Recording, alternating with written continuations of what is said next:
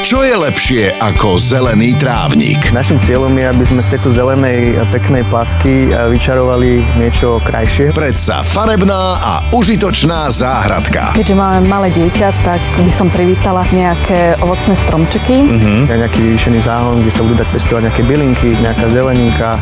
Nová záhrada. V nedeľu o 15.50 na Jojke.